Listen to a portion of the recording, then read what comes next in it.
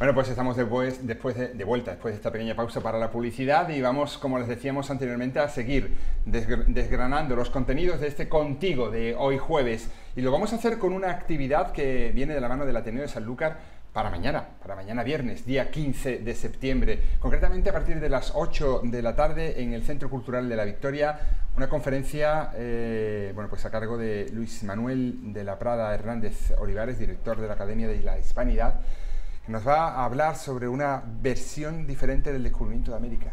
Para hablarnos de esta actividad está con nosotros el presidente del Ateneo de Sanlúcar, Manolo Reyes. Manolo, muy buenas. Hola, muy buenas tardes. Estamos hablando de, bueno, pues eh, un, eh, un hombre que eh, director de la Academia de la, de la Hispanidad. Un personaje, un personaje. Muy versado y además con una trayectoria muy, muy importante en, en, en, en la divulgación de, de, en este caso, del americanismo. ¿no? exactamente.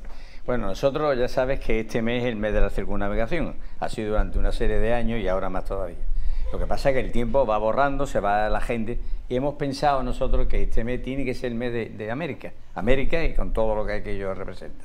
Este hombre, director de la Academia de, la Hispanidad, pues eh, le pedí yo una conferencia y entonces me habló, me habló de varias cosas, pero este tema era muy interesante Fíjate que es una versión diferente del descubrimiento de América, los verdaderos autores intelectuales y ejecutores de la empresa.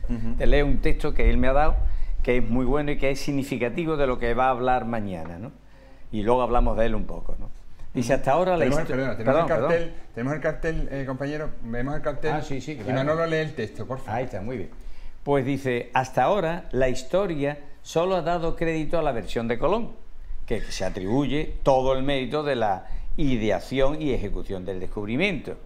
Las investigaciones de los americanistas desde hace dos centurias, fíjate, han ido matizando y corrigiendo ese relato, subrayando la importancia de la aportación de los Pinzón, Niño y demás marinos de Palos, Moguer y otros puertos del Golfo de Cádiz, a los que se le ha reconocido un papel secundario o como mucho un coprotagonismo. Pero hubo otra versión, la de Martín Alonso Pinzón, que es la que él va a hablar y va a desarrollar, que no llegó a exponerse ante los reyes por la muerte del marino a los pocos días de su retorno. La podemos conocer a través de los testimonios de sus propios hijos y de personas cercanas que lo conocieron y trataron. Nuestro reciente descubrimiento documental sobre Pedro Vázquez de la Frontera, marino precursor del descubrimiento, maestro y mentor de Pinzón, unido a una nueva interpretación de las fuentes, nos va a permitir conocer quiénes pudieron ser los verdaderos autores de la empresa y el papel secundario que ocupó Colón en ella. Esto es, esto es importante. Cuando me dijo eso, dije yo, venga ya, cuanto antes. Esto es drogadura, ¿eh? exactamente. Hombre, sinceramente, eh, puede parecer descabellado. Sí, así de entrada, y dice, bueno, ¿qué pasa? de, de, la película que te van a decir el papel secundario de Colón en el descubrimiento de América, ojo, ¿eh? Muy fuerte la cosa.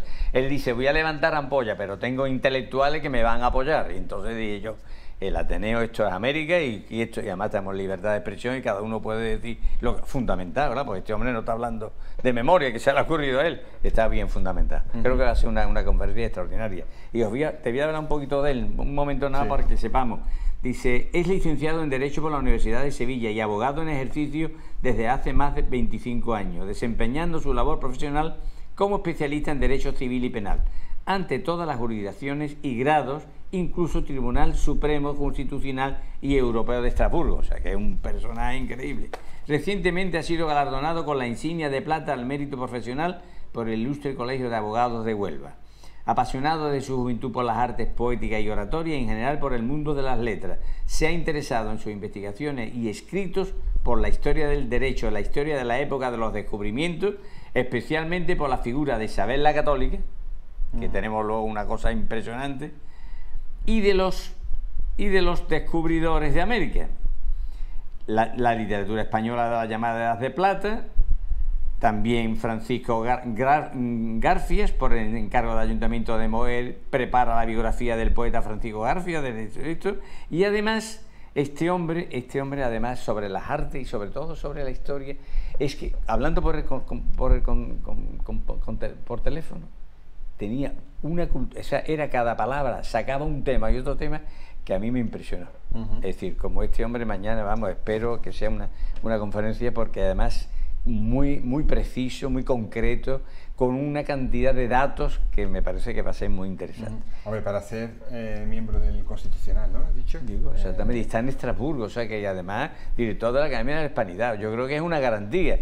Totalmente. Pues eh, Luis Manuel de la Prada Hernández Olivares, eh, mañana a las 8 en el Centro Cultural de la Victoria. Eh, y además tiene un montón de publicaciones, vamos, que no te he leído todo, mañana tendré que leer el currículum, pero un montón de publicaciones, premios, en fin, extraordinario. Pero es para disfrutar, la verdad es que estas cosas, estos temas son importantes. Hombre, y sobre todo que, que venga Sanlúcar, que, uh, esté aquí con nosotros. Y estaba deseando. Pues eh, es curioso, Manolo, porque siempre, bueno, pues este tipo de conferencias eh, tienen su público, eh, el Ateneo tiene su tirón, tiene su, clientela, por decirlo de alguna manera, pero no llegamos a valorar realmente la importancia de muchas de las personas que, que, que vienen. yo me quedo. Es verdad, Antonio, lleve razón. Mira, el otro día tuvimos a la, una eh, catedrática de Historia de América y una tía de un, de un, vamos, un currículo impresionante. Y este hombre pues va a ser fenomenal. Y bueno, y tenemos una cosa preparada. Bueno, ya, ya iremos viendo. Tenemos dos conferencias luego, después de esto, que ya cuando quieras tú podemos hablar de ello. José María Esteban, que todo el mundo conoce, un arquitecto de Cádiz, que va a hablar de la, la cultura el 22. Espero que el ayuntamiento me conceda poder estar ahí en el Centro Cultural de la Victoria. Va a hablar de la cultura oculta en, en, las, en las murallas, entre la muralla de Cádiz y San Lucas, porque claro, si no hace relación de San Lucas, yo lo quería que hiciera esto y él está entusiasmado. Y luego, últimamente, el día 29, para cerrar este mes de septiembre, nuestro querido Duque, nuestro querido Duque Alonso, va a hablar sobre la cultura visual y diplomacia en los siglos de la hegemonía española. Yo creo que, que es finalizar un mes muy interesante. La verdad es que las cuatro conferencias que habéis programado, eh, con la presentación del libro que, que también acompañó y conferencia, ¿eh? que dio su conferencia y luego presentó el libro, pero dio la conferencia. Eh, cuatro conferencias de un gran nivel. Es decir, estas cuatro conferencias las plantas en Madrid y te la compran. Sí, señor, totalmente. Además, tengo que agradeceros que el otro día escogiste la conferencia en pleno.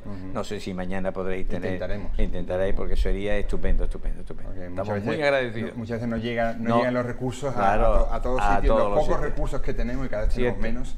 En lugar de tener pues más, una pena, ¿eh? porque hay muchísima gente que ve el programa contigo, muchísima gente que se entera porque llegan allí el público y dice, ¿usted cómo se ha enterado? Pues me dice yo viendo el programa contigo, o sea que... Eh, contigo, el informativo... Informativo y, muchísimas cosas, indudablemente. Porque este es un servicio público. ¿eh? Exacto. hablamos de servicio público no solamente hablamos de que aparezcan los políticos, también aparece la sociedad civil. La sociedad ¿eh? civil, que, tiene mucha importancia. No, no, es quizás muchas veces más importante que, el propio, que, el, que, el propio eh, bueno, pues, eh, organigrama institucional ¿no? de las distintas administraciones, porque al fin y al cabo los políticos pueden disponer, pueden proponer, pero quien dispone es el pueblo, son los colectivos sociales, religiosos, civiles, mm, llamarles como, como quiera, pero al final la agrupación de, de los ciudadanos en el día a día, porque todo esto eh, no habría dinero para pagarlo si tuviera que ser pagado por una administración. Exactamente. Y aquí vienen estos señores, pues. Gratuitamente, hombre, claro. Eh, se le paga un. Tenemos unas copillas con ellos y si tienen que quedarse en un hotel, se quedan en un hotel. Gastos Eso es normal. Mínimos, de, alojamiento para un nivel como esta este. conferencia. Que, pues, estamos hablando de, una visión eh, cosmopolita de, de, que va a ser fuerte porque además me dijo él que va, a que va a levantar ampollas, pero que él tiene el respaldo también de grandes intelectuales. Y este hombre se relaciona hasta con el rector de la Universidad de Salamanca y todo, o sea que es un tío increíble. Esperemos disfrutar mañana muchísimo y ustedes que vengan mañana. Aunque dice, va a, llover, dice que va a llover mañana a las 8 de la mañana. de, la, noche. No, de la, ahí pone a las 8 de la mañana y a las 2 de la tarde. O sea que a las 8 de la tarde estamos todos allí. No, no, y además que, en San Lucas el, agua pasa rápido. Pero además es que yo no sé si la gente de San Lucas está dando cuenta. Es que la gente cuando yo llamo a alguien para dar una conferencia en San Lucas, hombre, por supuesto, hacía mucho tiempo que yo tenía ganas de ir. Pero ¿cómo, cómo, ¿y cómo es posible que no, no me hayan llamado antes? ¿Eh? Ahí está. bueno, ahora tengo, bueno, ya te contaré. Bueno, bueno, eh, me está dejando con los dientes largos, Manolo. Sí, sí, sí, hay una cosa increíble que me te va a encantar. Me has tirado tres veces ahí el anzuelo. Sí. Me has puesto el anzuelo de. Tenemos una cosa de Isabel la Católica. una cosa importantísima. La ¿Qué pasa con Isabel la Católica? Te lo suelto, te lo suelto. Un poco, un poco. Poco nada. nada. en la segunda semana del mes de febrero vamos a organizar unas jornadas, llamada jornada congreso, una jornada sobre Isabel la Católica. En San Lucas. En San Lucas de Barrameda. En, espero, ya he hablado yo con Álvaro y espero que en esa época, ya hablamos de fecha y eso no tengamos ninguna dificultad, en el Castillo de Santiago, porque como bien sabe, ahí fue donde la reina vio por primera vez, que lo dicho. en el programa Y entonces eso es muy importante. Y además no solamente por el hecho de, relacionar y, sacar a Isabel la Católica, sino por la cantidad de personalidades que vienen. Yo me he quedado alucinado. Os puedo decir que es algo increíble. Y sobre todo en San Lucas. Hombre, es que esta tierra, esta tierra tiene mucha Tiene mucha historia, eh, debemos, de, debemos de darla a conocer y debemos de defenderla porque eh, no puede pasar desapercibido. Es decir, la importancia histórica no debe, que no debe pasar. Debe de, debe de permanecer y los más jóvenes deben de conocer ¿eh? ahí está, ahí está. ¿Eh? A, mí me, a mí, yo, bueno, la, tú sabes que lo de los independentistas han hecho una labor impresionante. Pues eso tendríamos que aprender nosotros para ir haciendo esa labor desde ahora. Bueno, para que, aprender tantas cosas. los andaluces, especialmente, tendríamos que, que aprender tantas cosas como, por ejemplo, la autorrepresentación del territorio.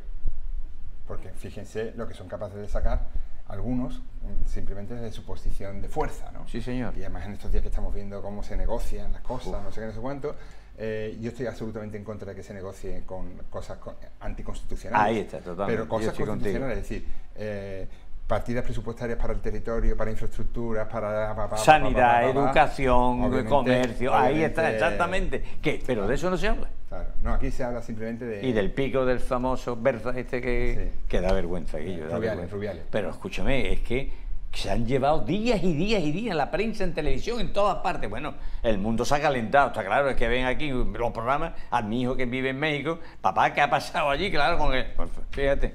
Bueno, tanto es así que ayer hablamos con Roberto Macedonio, con nuestro queridísimo Roberto Macedonio, eh, que es un chico jovencísimo de San Lucas de periodista, como bien sabe, que mm, está trabajando para una cadena eh, extranjera, eh, aquí en, España, es corresponsal en España de, una cadena de noticias hispanoamericana, y decía que es curioso cómo se ha dejado hablar de, la mayor crisis humanitaria del, de este siglo, que es la, guerra de la invasión de Rusia, de, Rusia en Ucrania, no se habla nada. se habla de cosas banales como que alguien le da un beso, a otro y que, que no, vamos Sinceramente, esto, que me parece Esto es esperpéntico, ¿eh? Me parece fatal, me parece que este señor eh, ha tardado en irse. Eh, ha tardado en irse, totalmente de acuerdo contigo. Pero no puede opacar una realidad que sigue estando. Y ahora con, con, el, con el terremoto de, de Marruecos, Marruecos, donde veremos a ver Veremos a ver cuántos miles de muertos van a aparecer ya cerca de 3.000 y pico, es algo increíble. Sinceramente, yo de lo, que digan eh, los medios oficiales de Marruecos no me creo nada. Nada, absolutamente nada. Yo creo que hay, hay muchos más miles de muertos de los que realmente, de los que realmente son. Y no se quiere dar la, realmente la cifra porque es bochornosa. No, hombre, y porque, y porque además va a provocar un efecto rebote en cuanto a que la gente no va, el turismo va a desaparecer. Exactamente. Y, y el, el, reino marroquí pues vive de esto, vive de, y nosotros tenemos sangre árabe ¿eh? también. Sí, y, también, bueno, nuestra vinculación siempre con el norte de África ha sido, muy importante. Muy importante, ¿no? Eh, pero bueno, al margen de eso, es que el día a día Manolo nos lleva por, muy Pero hay que seguir adelante. Totalmente. Gracias Manolo por Gracias a vosotros. Recordamos que el próximo viernes, 8 de la tarde, en el, en el Centro, Cultural. de la Victoria, esta pedazo de conferencia, una versión diferente del descubrimiento de América, los verdaderos autores intelectuales y ejecutores de la empresa. Me queda eso.